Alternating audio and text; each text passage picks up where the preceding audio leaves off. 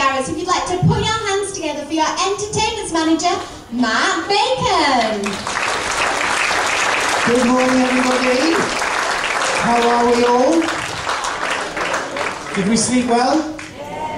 Lovely. Well, ladies and gentlemen, it is of course that time. So please put your hands together for the lady of the hour. It's the lovely Lesley Garrett.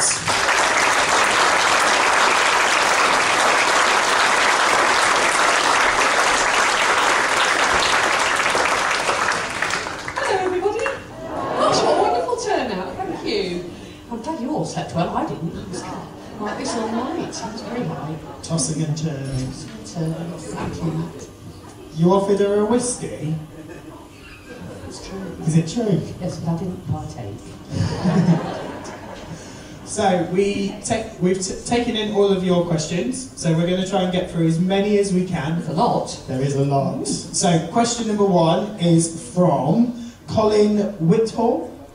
Hello, Colin. Hello. Um, he asks, how do you keep to the high standards? Um, is it continuous training after so long, or do you just only need a top up? What's a top up? Let me sound like, let me sound like a pint of milk. I know, yeah. It is continuous training, actually, Colin. I'm very grateful to you for asking this question uh, because it's uh, something I'm quite passionate about. Uh, and I, I talk to uh, young singers about this all the time. Uh, I think the reason, the sole reason, um, apart from you know the, the fact that you all seem to still like to hear me sing, the sole reason I'm going to say that I'm still going is that I have singing lessons every week uh, with my uh, singing teacher, my dear friend uh, Joy, Joy Mammen. I discovered Joy at the Royal Academy of Music uh, back in 1978. Uh, and we've been together ever since. And I had a, a sing lesson actually just the day before yesterday, before I came here. It's a bit like having a sort of personal fitness trainer for the voice. And she puts me through my paces and keeps my voice stretched and keeps the, the muscles that govern the voice in, uh, in fit and in good, in good shape. Uh, because I think it's like, it's like any physical ac- activity. Um, you know, if you if you don't use it, you lose it. It's true, isn't it? Of anything you do, it's gardening, you know. Uh, and I just keep exercising and training all the time. And because I, I, I attempt such a wide range of different kinds of music as well, um, it, I need to be particularly vocally fit to do that. Uh, you know, because you know, the- although my the, the voice is the same, different composers require different things from my voice. Um, whether that's um, a popular composer, you know, Andrew Lloyd Webber or one of the, the composers of uh, music theatre, or whether it's Bach. Uh, you know, I would never sing Bach in the same way as I sing Puccini, you know, so why would I sing Lloyd Webber in the same way I sing Schubert? So, you know, I have to find the right sound for that composer, and that requires continuous training. Uh, because the thing about being a singer is that you never uh, hear your voice as others do. I mean, I'm sure you've all experienced this when you've heard yourself uh, on a recording just speaking. You think, oh, what's that? Don't you? Well, it's it's multiplied a hundredfold for a singer. Um, we just our perception of our sound is completely different from from your perception of my sound. So uh, for that reason, I think we continually need uh, need another pair of ears, whether it's a coach or a singing teacher, or in my case both, um, to, to tell us if what we think we're doing is, is in actual fact what is being received by by the audience. So um, for all those reasons, it's absolutely vital to continue training. And also because I've not got to my peak yet, I'm still improving. So what's the corner? Thank you. Fantastic. Right, so the next question's from Jean Clark. Jean Clark. Oh, hello, Jingle. your- That was. That was good. We're going along the line. There we go. So, Oh, well, that's all right. I'll still speak to you. I'll make an exception. um, so this question is: um, How do you obtain your opera parts? Um, are you chosen, or do you, you or your manager have to apply for those? That's a very good question. Um, well, it, it's changed over the years. Um, in the early days, I would audition, and if I was good enough, I'd get the part. Uh, once I got to the English National Opera, once I became a principal soprano there in 1984, then they chose my parts for me. Uh, usually in consultation, we'd, we'd have a chat about what I was hoping to do, and they'd say, you know, don't be ridiculous, do Mozart, you know, that kind of thing. Uh, not in this house, dear, too big.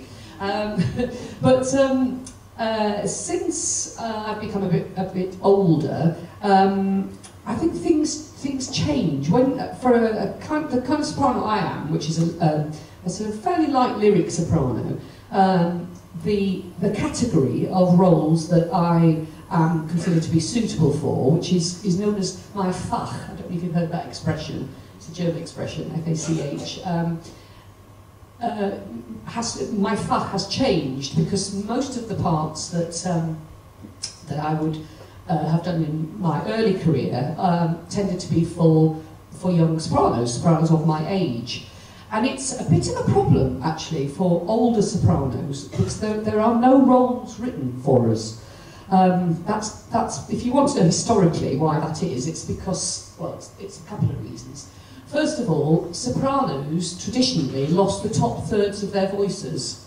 Um, well, after the menopause, to be honest. It's a, a, physical thing that happens to, to, to female singers, that you lose the top of your voice. But that doesn't happen these days because of the miracle of HRT, ladies. So we, we sopranos are now carrying on, you know, as you hopefully heard last night, and the tops of our voices, you know, are, are not deteriorating. So we are struggling now because um, historically, uh, composers didn't write roles for, for our age group. Um, I think the other reason is that historically, um, women didn't have much power once they were past childbearing age, so they weren't interesting characters for, uh, for, for composers to write for, unless you were a queen or something, I suppose. Um, so all of that has changed. So I'm, I've kind of thrown out a bit of a challenge to to young composers to you know, say, look, if you want opera to uh, represent contemporary society um, in order that opera should therefore be seen as a contemporary art form, you need to write for what's going on now. You need to write for powerful older women because you know we're now we're, you know we're running countries, we're captains of industry, so these things need to be reflected if uh, if you want opera to be seen as a, a modern art form. So um, I'm kind of in the process of encouraging some young composers to write for me.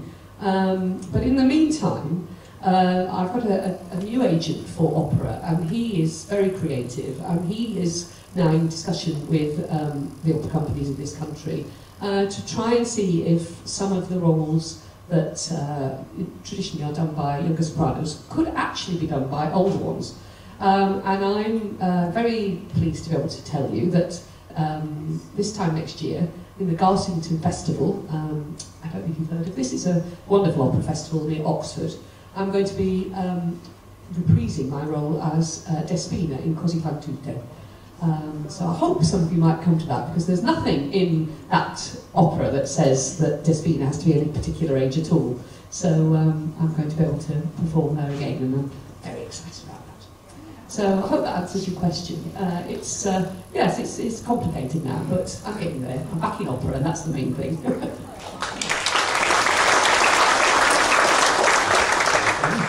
Okay, next question is from Steve Down. Steve Hello, Steve. Now, I have to just tell you, Steve and Lynn Down are um, very precious people to me because they run my Lesley Garrett Fan Club. Yes, which I to just quickly tell you about in case any of you fancy joining them. Please don't think you have to, but we do have the best fun. It's a proper club. And my, my fans, who are my friends now, come to nearly everything I do, and we always have a get together afterwards, and we have lots of fun. Uh, and we have, you know, I do a, um, a newsletter, quarterly newsletter, and we send out photographs, and we have a, a lovely, lovely site, uh, an interactive site, and it's it's a lot of fun. So if any of you want uh, any information about that, Steve's at the back there, and Lynn, um, and uh, you know, I would encourage you because we do have a lot of fun. I know some of you probably are already members, um, but what was Steve's question? I can't believe there's anything you can think to ask me that you don't know already, love. Steve's question was, um, after spending seven years at the Royal Academy of Music, uh, what do you think of this instant stardom shows like X Factor, The Voice, Britain's Got Talent, Oh, things that's like that? interesting, isn't it? What do you all think of these programmes? Maybe I should throw it back to you. Oh, There's thumbs down over there. Okay, thumbs up? No, a couple of thumbs up, thumbs down? Oh, mostly thumbs down. That's interesting. Well, it's, it's, some, it's worthy of debate, isn't it? Um, I've kind of got a foot in both camps, really. Because I think we, it, the tradition of the talent competition in this country is nothing new, is it? We've always had talent competitions. And, and I, I, what I love is that there are so many people, and always have been in this country, that uh, are incredibly talented and I want to share that. Uh, you know, it, it's wonderful to see people, I think, step up onto a stage and give it a go, because I'm a bit of a give it a go girl myself, you know.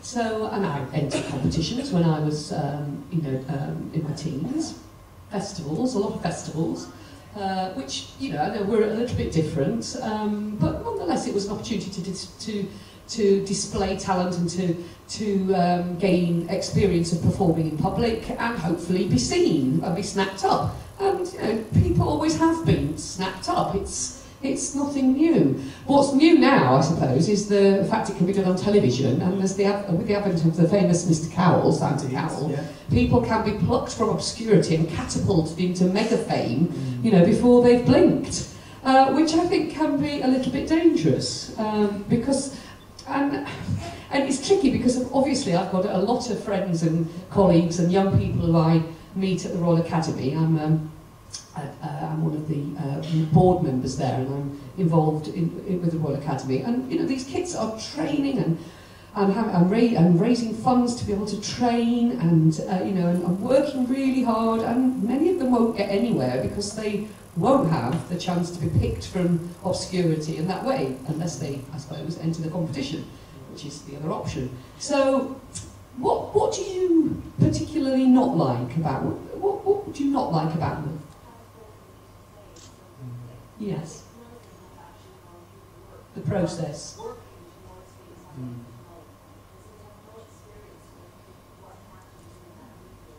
Yes. Lady was just saying that, as we were just discussing, that uh, you know they don't have the experience of working their way through the profession. So in a way, it's, it's an artificial um, success that they're experiencing. Um, so arguably, it you know it won't sustain. Uh, it's artificial, basically, isn't it? I suppose, but. I don't know. It's I'm in two minds about it myself, so it's interesting to hear your views. It is a tricky one because, like, talking, I did a performing arts degree, and a lot of my classmates are finding it very hard to get jobs within the industry because of shows like that. And if you don't kind of go for those kind of shows, you're not getting the kind of breaks because a lot of like um, casting directors are going for names instead of trying to get new new faces and kind of new names within like the musical theatre kind of industry. So- But isn't it in a way But just a glorified auditioning process? It is. Because it, It does get is. people noticed, doesn't it? And it is a great way for a lot of new faces to actually get, because a lot of the people on Britain's Got Talent, like Steve Hewlett, um, he actually did the Warner circuit before he did Britain's Got Talent. And now, because of Britain's Got Talent, he's now doing star breaks, he's doing tours. It's kind of gave him that opportunity to bump up his, uh, his opportunity. Like, I've got friends who've been only in the semi-finals and kind of stuff like that. And luckily now, because of that, they're getting tours with local holiday companies. They're getting jobs with like Thomson's abroad on cruise ships and all that kind of stuff. So they've got spotted. yeah, they, spotted. it's been given it's given them the opportunity to get spotted and I understand why it does have a downside, but then of course it has helped a lot of people who were actually already in the industry actually get that next step up and to kind of keep continuously doing what they do. And sometimes it, it, it works in reverse. Do you like The Voice? You see, that's I think that's a really interesting programme. I do like The Voice. Um, but Leah Jones auditioned for that, didn't Yeah. she?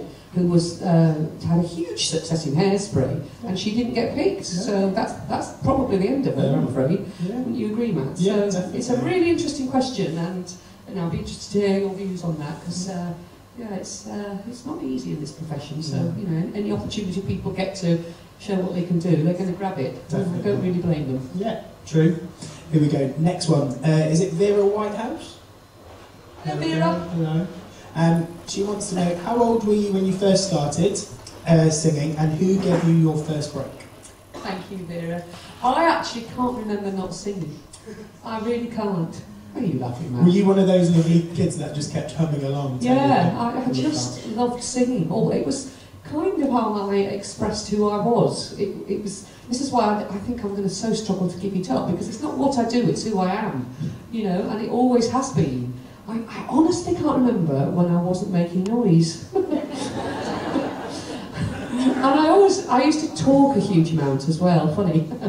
um, in fact, my, don't tell anybody, but my nickname was Gobby Garrett when I was in school. It's true. We like that, don't we, I can see. Uh, but, I, but I think it's to do with communication. I just do love communicating because I think that's the other side of the of. Well, it's probably the same, two sides of the same side in a way. Uh, it's one thing to have a voice and a, you know